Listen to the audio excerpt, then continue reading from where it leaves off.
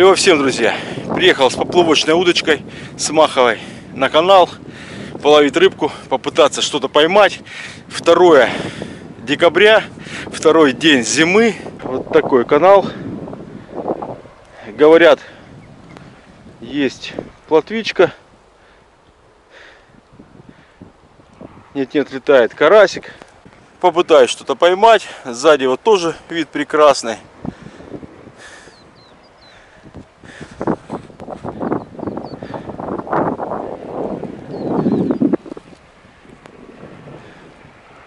Так что, друзья, погнали.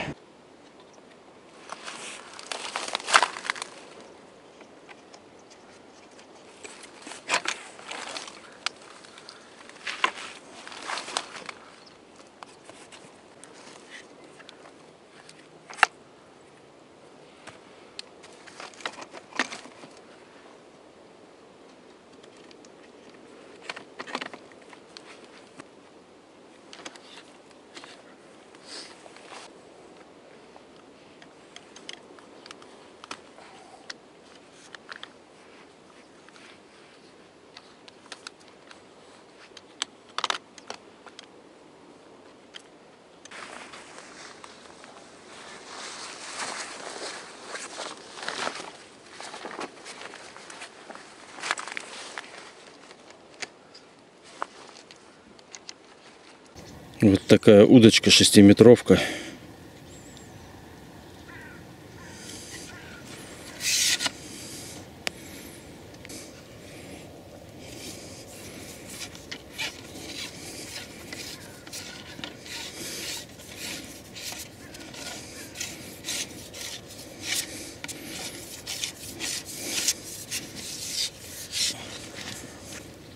Вот такая красавица. Течения вроде нету, глубина небольшая. Попробую с максимально тоненьких. Так. Ну вот, наверное, попробую с вот этого. Один граммовый поплавок. А там буду смотреть, как буду видеть поклевки, как буду видеть сам поплавок. От этого уже буду ориентироваться.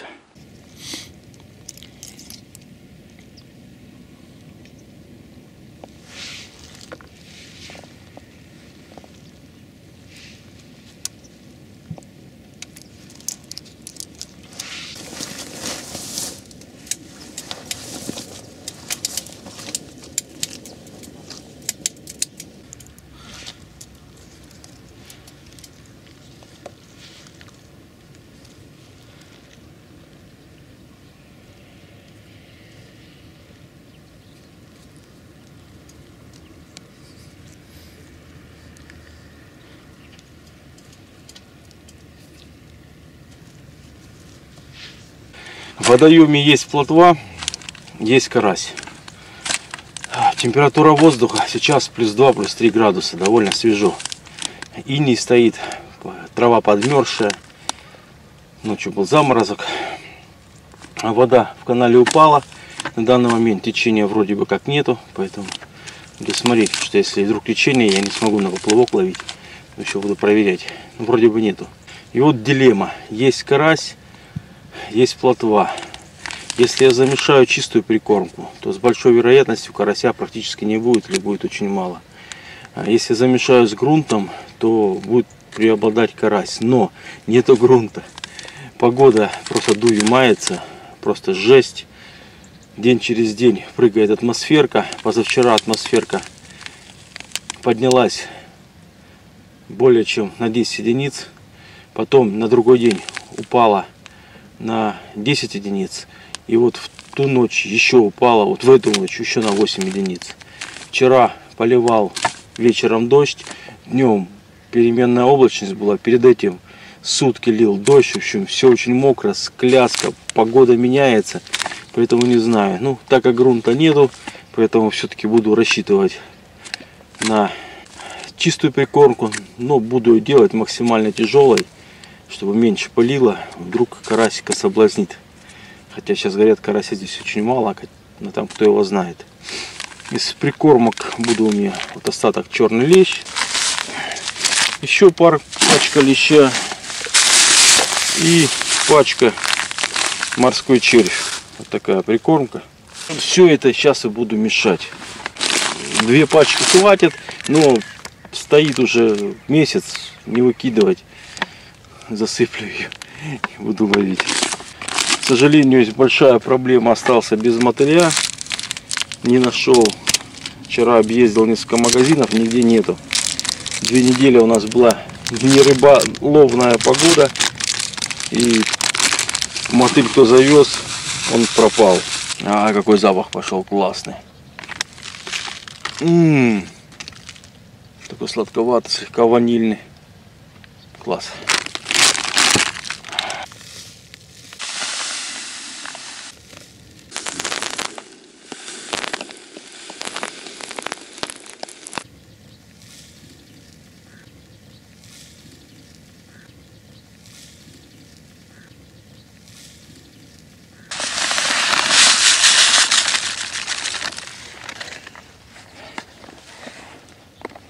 Вот такая цветная светлая прикормка. Зелено-красненькая. И темный лист.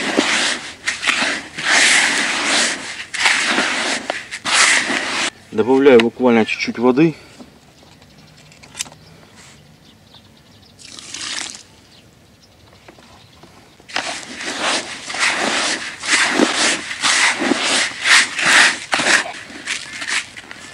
Сейчас прикормочка постоит и буду добавлять вонючки. Прикормка взяла воду.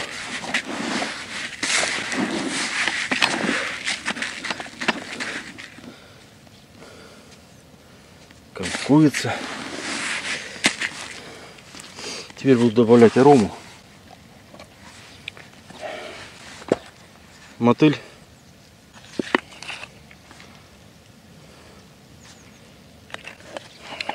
И мидию.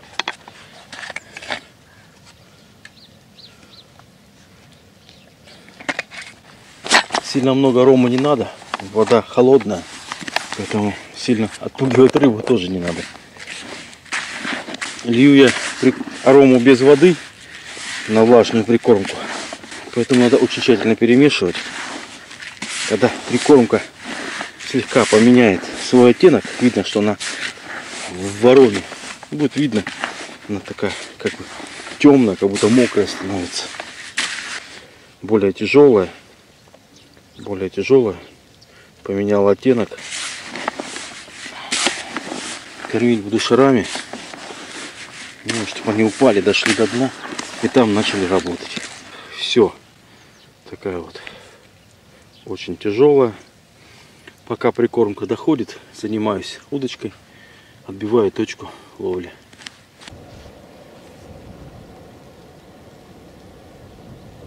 Рыбалку начну со дна.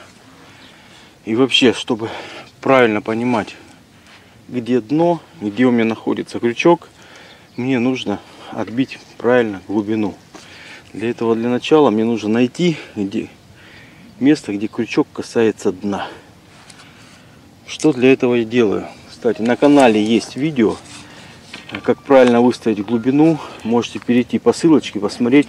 Также ссылку оставлю в описании. Там я этот весь процесс, что сейчас буду делать, показываю в аквариуме очень подробно. Самое первое, что мне нужно сделать, это посмотреть, как в воде стоит мой поплавок в условиях, когда крючок над дном. Для этого я ставлю маленькую глубину, заведомо меньше, чем э, в месте ловли. Забрасываю и смотрю, как огружен поплавок. Он нагружен у меня вот так. Так вот антенка торчит из воды. Для дальнейшего процесса мне нужно грузило, которое я закреплю на крючок, чтобы поплавок тонул. Использую обычные дробинки. Лучше брать большие, из мягкого свинца, чтобы их легче было сжимать, разжимать. Просто сжал, стоит на месте, никуда не денется. И забрасываю.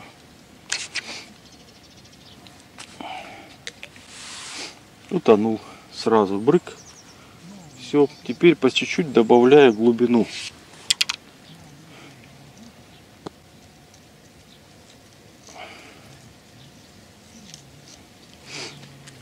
До тех пор, пока грузило не коснется дна. То есть поплавок не будет тонуть. Утонул.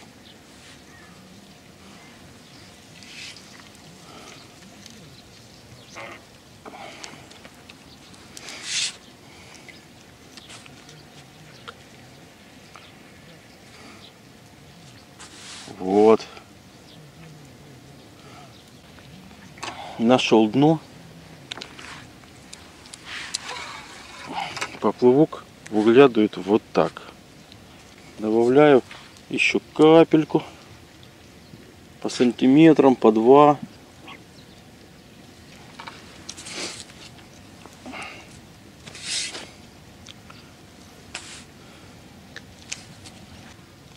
Все, попало, ребят.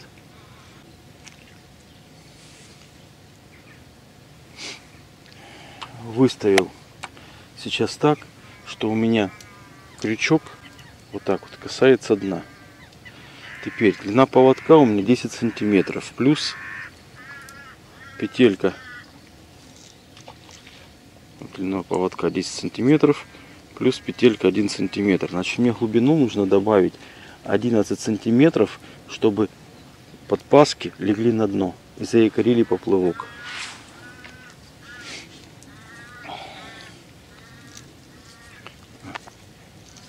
Но перед этим мне нужно на удочке сделать отметку маркером,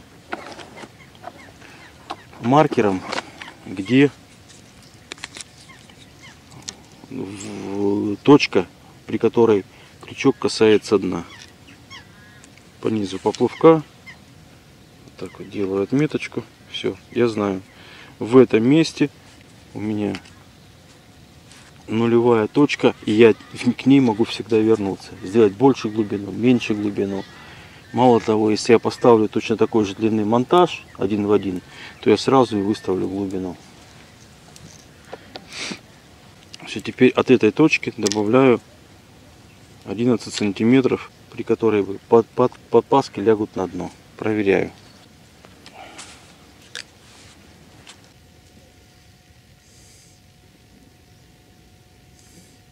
Все, отлично. Глубина выставлена. Снимаю груз. И буду сейчас проверять, будет нести или нет. Или нужно больше, более тяжелый поплавок ставить чуть-чуть поплавок вылазит больше. Там свал. Раз попадаю на свал. Уменьшил сейчас на, буквально на полтора сантиметра глубину.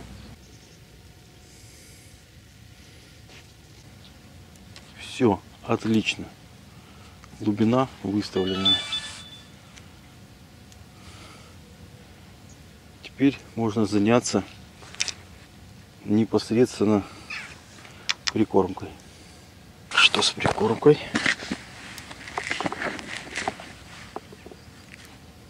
Отлично. Закорм буду производить шарами. Выкину чуть больше половины сразу. И во время рыбалки буду небольшими шариками подкармливать.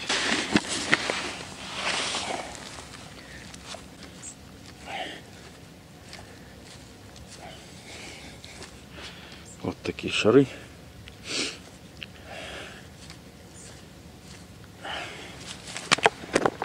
Первый пошел.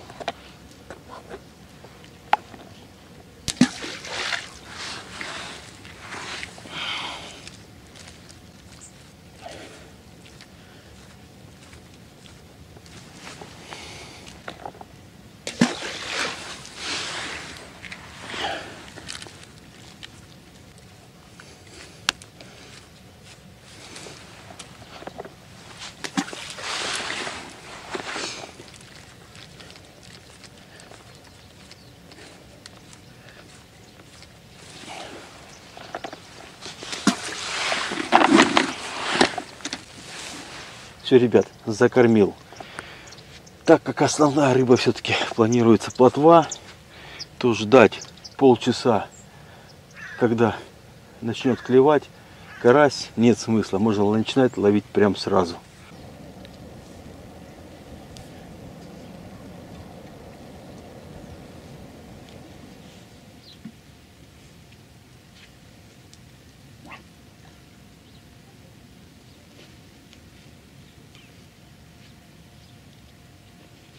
Оп, оп, оп, оп, и сразу первая поклевка, ребята. Кто это у нас? Хорошая плотва. Смотрите, какая красавица. Вот это батончик. Класс, ребятки. Вот такая красавица. Отлично. Радует.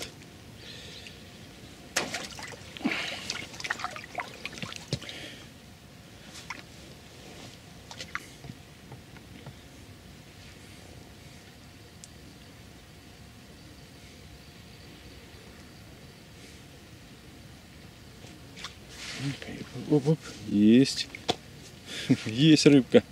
Есть плотвичка. Поменьше, но тоже ничего. Зимняя.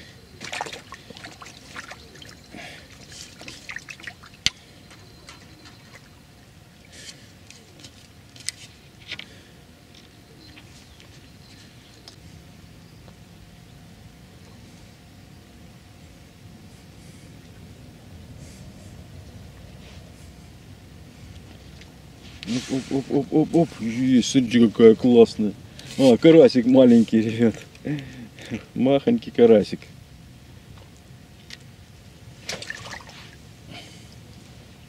Так, пока мне все нравится. Кайф.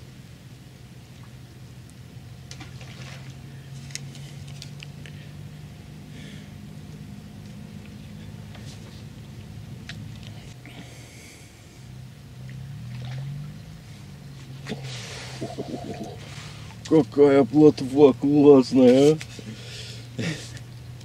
Жирная, зимняя. На тарань похоже, но все равно это плотва.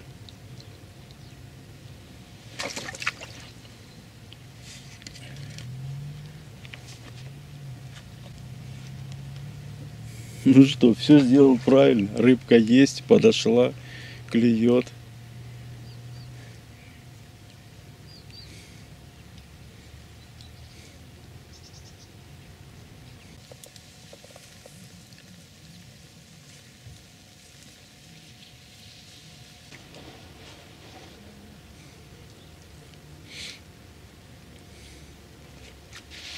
А, сошла. Махонькая.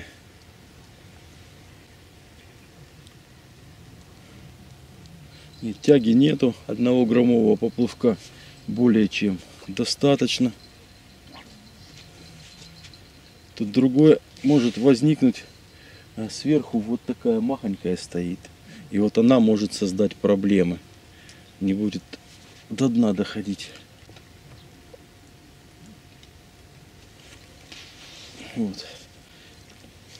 Уклейка, ага. Сверху уклейка стоит. И вот, вот это может быть проблема.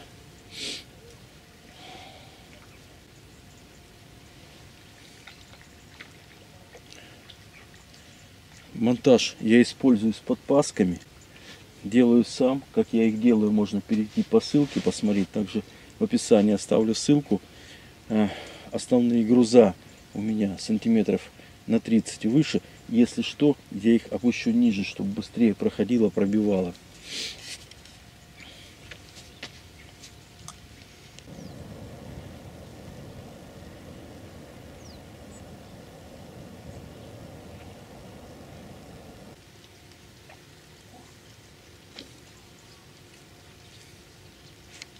Иди сюда, иди сюда, иди. Какая классная. Ух, красавица.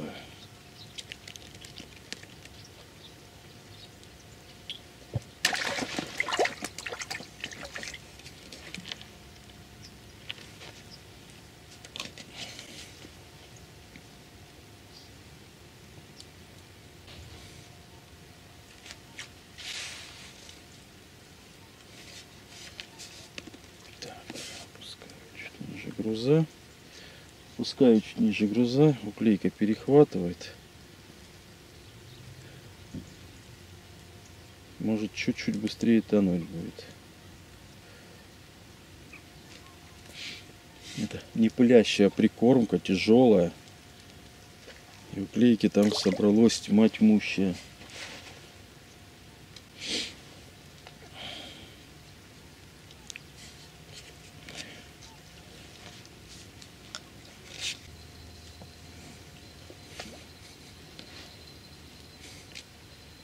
Да иди сюда. Ух, ты, какая!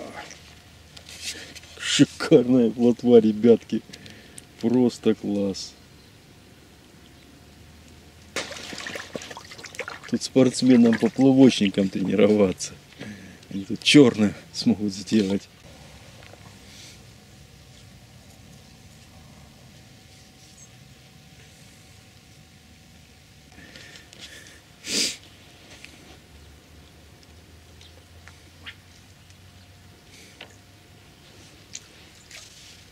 На перехватило. Чуть выше, возможно, стоит. Как вариант, может быть, на дне карасик.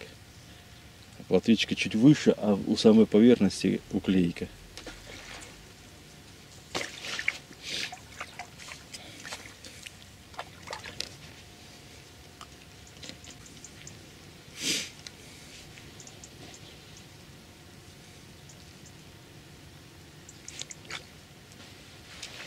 Класс. Просто сказочно, ребятки. Офигеть. Вот такая плотвичка. Класс.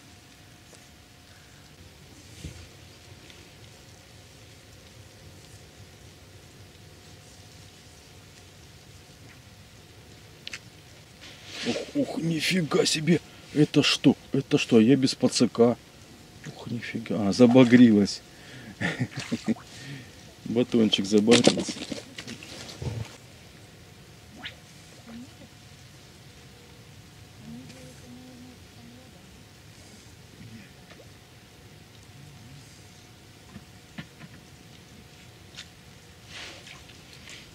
Ребята, а напишите, какое блюдо из такой плотвы предпочитаете? Солить, жарить, уху. Напишите в комментариях. Очень интересно.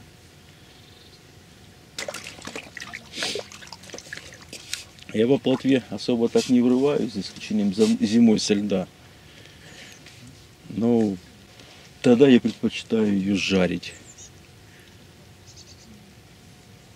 То есть вот зимой наловил со льда и жарить.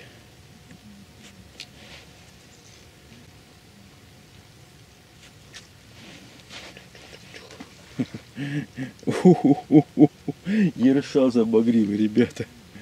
Ерша за пузо. Колючего малыша. У нас, кстати, в крае ерша не очень много. Вот я знаю, в этом канале нет-нет, он себя сильно активно проявляется. А так мало. Хотя раньше было очень много во многих степных водоемах. А сейчас вот колючий красавец.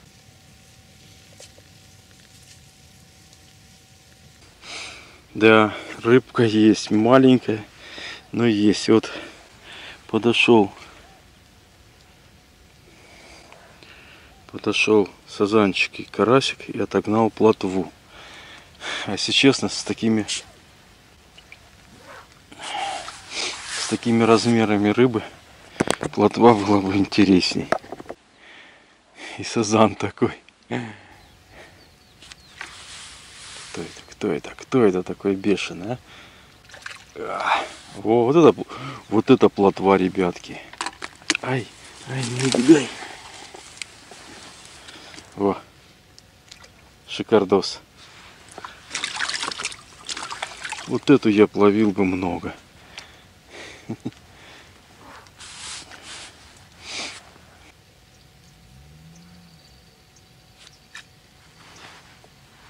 Кто это?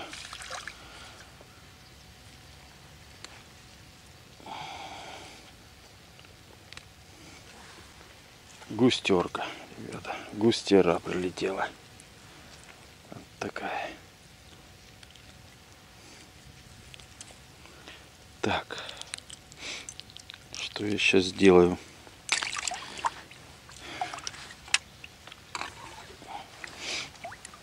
Вот основные груза. Я их сейчас все выше поднимаю. Собираю в кучу. Ну, делаю все выше.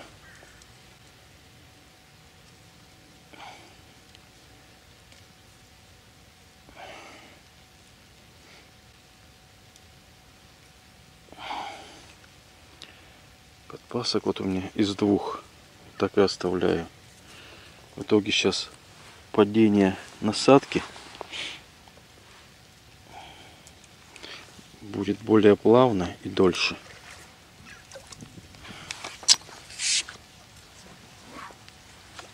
Что мне интересно именно плотва. Я определился, что я хочу ловить. Не хочу мелких сазанчиков. Опа, вот. Перехват чего-то, кого-то. Не хочу мелких сазанчиков и карасиков. Хочу крупную плотву.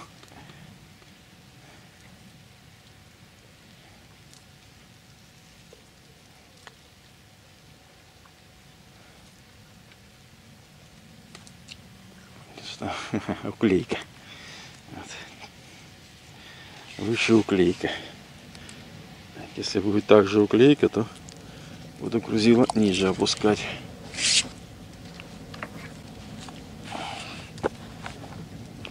Как слоеный пирог рыба в воде.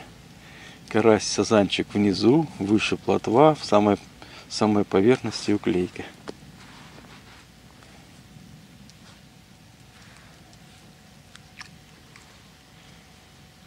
Уклейка.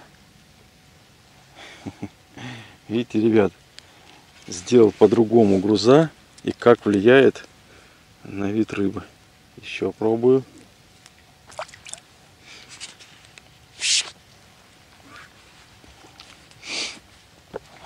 Вот так вот. Вот вам показатель расположение грузов, как может повлиять, какая рыба будет чаще клевать. Уклейка. Все. Видите, три заброса, три уклейки. Все. Опускаю груза ниже. Так, я их оставлю верхний тут же а остальные распределю.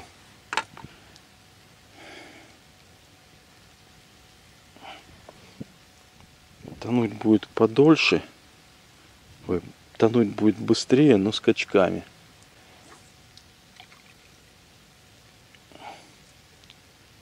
Чуть-чуть побыстрее будет тонуть. Посмотрим на реакцию рыбы. То вот такой бусинками распределил. Если что, опущу ниже. Оп, оп, оп, вот плотва. Фокус-мокус, ребят. Тонуть стало быстрее, вот и плотва.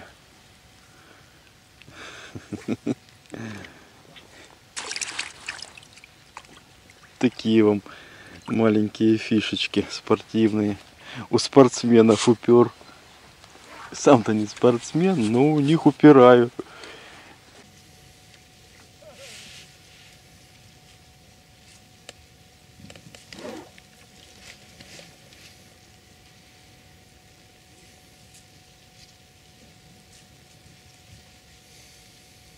Рыбка есть, поклевывает, не прям там супер-пупер. Ну, поклевывает. Это радует, просто классно так вот посидеть в затяжке, без ветра, комфортно. Ну, надо что-то еще потеть, но не хочется одевать, нагромождать одежду. В итоге класс. Просто сидишь на, на удочку, на поплавочек, ну, кайфуешь. Класс.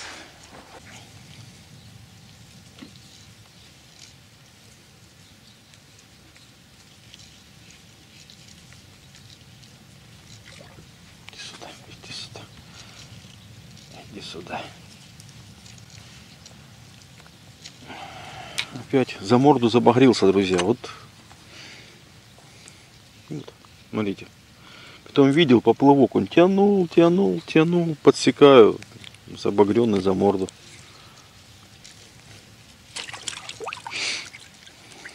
Смотрите, сколько его там, что вот он попадает, цепляет за поводок и крючок.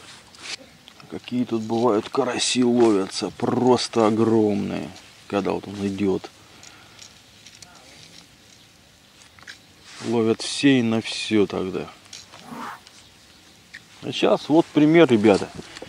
Я сижу, тонкая снасть чувствительная, легенький поплывок, и рыбка поклевывает. А все, кто сидят со снастями для массовой рыбы, когда идет массово, у всех клева нету. Оп. Опять чешуя, опять багрился.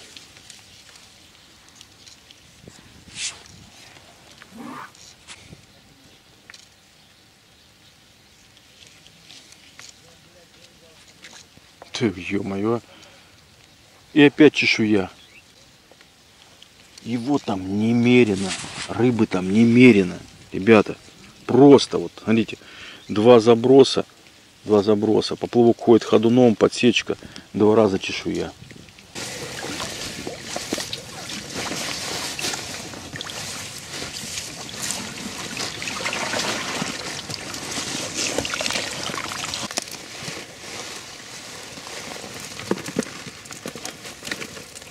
Ну что, ребятки, вот закончилась сегодняшняя рыбалка. Час дня, пора ехать домой. В общей сложности поймал больше 60 хвостиков. Еще десяток карпиков даже сюда не вошли. Были сразу отпущены, вернее, сазанчиков. Вот таких малышей. Что вам сказать? Рыбы очень много. А, задача, все-таки я пытался поймать карася. Поэтому прикормку делал с учетом на карася. И он зашел, он встал в огромном количестве. Но это живец на щуку, которую сейчас буду отпускать, ребятки. Это был очень мелкий карасик в огромнейшем количестве. Просто в огромнейшей.